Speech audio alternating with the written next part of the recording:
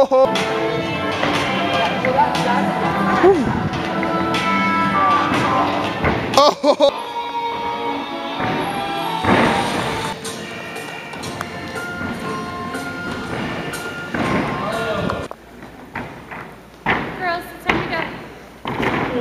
truck that is hell bent on hitting him. And that was the end of my ears. Shit.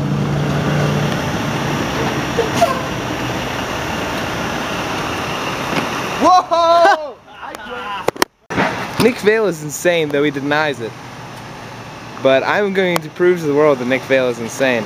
Notice this uh, concrete-like surface that resembles a gas station parking lot. now, it's not really a gas station parking lot. Obviously, this is plyo. Like,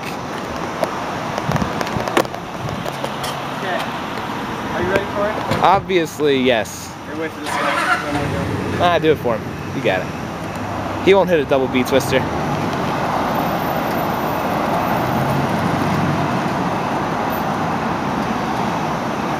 Why aren't you human?